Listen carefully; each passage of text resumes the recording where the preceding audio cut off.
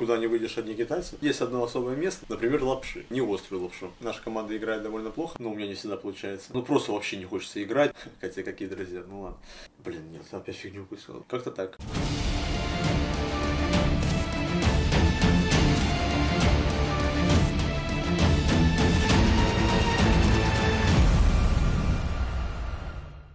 Всем привет, я Ярослав, мы находимся в Шанхае, город довольно-таки интересный, очень красивый, я здесь уже не первый раз, если не ошибаюсь, уже раз в четвертый. Честно говоря, не особо бывал в каких-то интересных местах, но есть одно особое место, там магазинчик такой, значит, там можно найти очень интересные вещи, особенно для меня. Что типа к аниме-фигурах там или еще что-то, или какой-нибудь коврик. Короче, аниме, анимешники бы там порадовались. Также город славится тем, что он, по-моему, самый густо заселенный, и китайцев тут действительно довольно много. Куда не выйдешь, одни китайцы. Куда не пойдешь, а тоже одни китайцы. В Китае очень много интересной и разнообразной еды, но в основном она только острая. И поэтому мы пытаемся найти какую-то другую еду, там, чаще европейскую. Вот, например, нашли Макдональдс и питаемся иногда там. Но на самом деле также не против и поесть какой-то традиционной пищи. Например, лапши.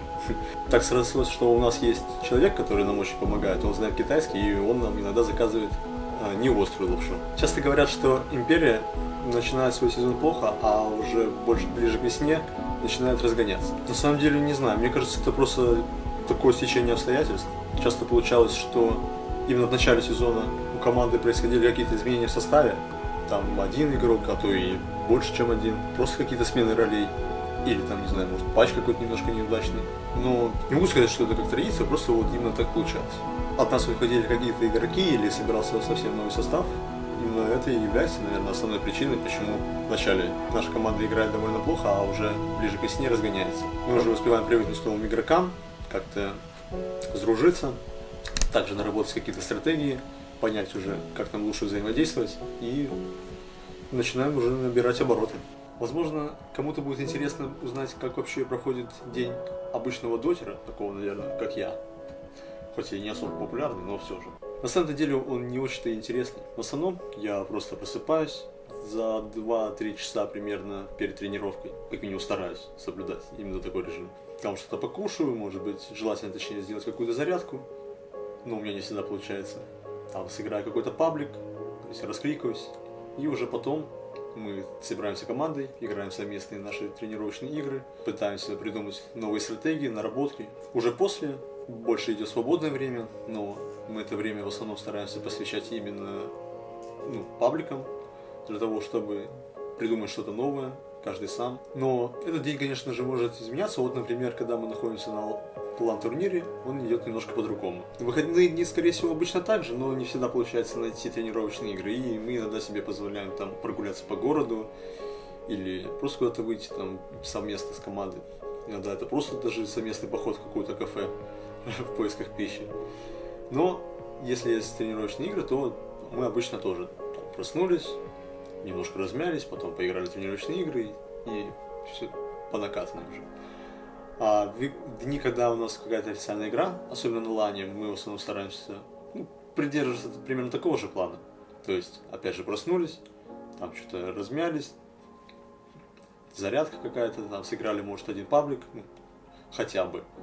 И уже потом идет официальная игра, там заранее приезжаем, сначала просто ожидаем, иногда бывает время для того, чтобы размяться в какой-то практис-руме, но не всегда это получается. Ну и уже просто ждем времени нашей игры. А там уже в зависимости от победы и поражений, и вообще от формата проведения, мы можем либо дальше продолжить играть на сцене, там, либо едем обратно в отель. В свободное время я стараюсь больше уделять время доте. Не всегда находится достаточно желания, что ли. То есть иногда ну просто вообще не хочется играть, не тренироваться, охота как-то отлично поиграть в другую игру или вообще совсем что-то другое, там, не знаю, погулять с друзьями хотя какие друзья, ну ладно.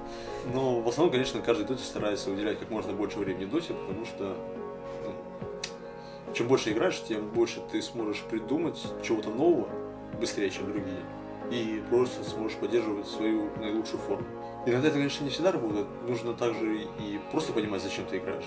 Да и вообще какая-то необходимая мотивация должна быть. но не всегда удается ее найти, что ли. И вот в такие моменты, когда у тебя нет мотивации играть, ты пытаешься совсем чем-то другим заниматься. Я вот там, не знаю, например, иногда играю в какую-то другую игру, ну, пример сейчас сложно привести, или там, не знаю, просто, учитывая, что я некий фанат аниме, я могу посмотреть аниме. Ну, у каждого уже свое. Когда-то я мечтал стать тоже одним из профессиональных дотеров. Я думал, это просто, типа, ты просто играешь в игру, стараешься выкладываться на максимум, ездишь просто по турнирам, там отбираешь на квалификации, играешь на самом высоком уровне против самых крутых команд. Я не верил вообще, что мне это даже получится, но, честно сказать, я уделил около 8, нет, около, наверное, 6 лет или 7, прежде чем я вообще попал в команду такого уровня. До этого я играл где-то год довольно низко, ну, довольно в командах низкого уровня.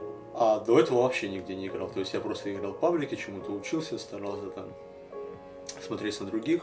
Но это довольно тяжело, это нужно как-то заставлять себя, что ли. Хотя сейчас проще, потому что сейчас есть рейтинг. Лучше понимаешь, например, вот на какой ты роли хочешь играть и видеть себя в профессиональной команде. Ты можешь играть на роли поддержки, и ты будешь играть только на роли поддержки, стараться набить какой-то определенный рейтинг себе, и тебя могут заметить. И, допустим, когда в какой-то топовой команде будет перестановки, и там будет необходим саппорт, то тебя могут заметить, потому что, ну, просто откроют список лидеров, посмотрят на себя, и такие, о, а этот человек типа играет на, на саппорт обычно, может с ним попробуем. Как-то так вот иногда бывает. Вообще, мне, конечно, повезло с тем, как я попал в команду, то есть у меня был знакомый, ну, на тот момент довольно-таки мы с ним неплотно общались. Это менеджер сейчас нашей команды, Дмитрий. Я с ним был знаком, он как бы знал, что я себе представляю как игрок, хотя я вот играл вообще на другой роли, то есть на роли Кэрри, и вообще в другой команде, довольно низкого уровня, но когда был период решалфа в Team Empire, замолвил обо мне словечко, сказал, что вот этот чувак, он там может тоже тащить, неважно на какой роли, давайте посадим его на саппорта, через несколько недель он уже там научится, будет тащить. Ну и как-то так реально получилось, я сам в это не мог поверить. Я играл на совершенно новой для себя роли, с уже довольно крутыми игроками, на мой взгляд, я никого не знал, Единственное, что я мог там просто стараться как-то показать себя. Почему меня вообще тогда взяли, наверное, в команду, это потому что я играл на одном герое, Spirit. Он тогда был сильнее, чем сейчас. Ну и, короче, я показал на нем очень достойную игру. Все такие, фига ты типа крутой. Вот, давайте мы ему будем брать только этого героя, и он будет у нас только на нем играть. Ну тогда это так как-то выглядело. Со временем у меня появились еще какие-то герои. Насколько знаете, мы сегодня играли против команды Нёби топ-2 не так, никак. На миноре. С какой командой еще играть на миноре? в первом раунде. И игра наша закончилась не самым лучшим образом. Хоть мы и начали за здравие, но закончили сами знаете как. Вроде бы все шло хорошо, но в какой-то момент просто на стадии пика вот не было идей, что ли. Вот какой-то момент, вот особенно во второй игре, это все началось еще с пика Вайда. Вместо этого героя мы просто не смогли как-то придумать альтернативу, что ли. Мы как бы даже понимали, что в один момент мы поняли, что если мы возьмем Вайда, они могут взять ОД. Мы подумали сразу, как давайте, может, вот этого, но это показалось еще хуже, а время все шло, и поэтому пришлось взять Вайда, хотя это явно было ошибкой. И с этого момента уже шло, все пошло немножко не так, как нужно было. Также, я думаю, сказывалось какое-то волнение все-таки. Особенно у нашего довольно-таки нового игрока, это вот Никс, Саня. Он явно немножко переживал о том, что ну, играет все-таки против хорошей команды, и вообще он не особо опытен на таких мероприятиях на онлайн-турнирах. То есть для него, я думаю, это было в новинку. Но он все равно молодец, играл хорошо. В следующий раз нам нужно просто как-то основательнее подойти к тому, что нам нужно брать. Понимать, каких героев с какими лучше взять. И я уверен, мы сможем победить даже такую команду, как Ньюби. Спасибо, что поддерживаете нас, несмотря ни на что. Помните, у всех бывают плохие времена, и у нас тоже. Но верьте в нас, и мы обязательно вас не подведем.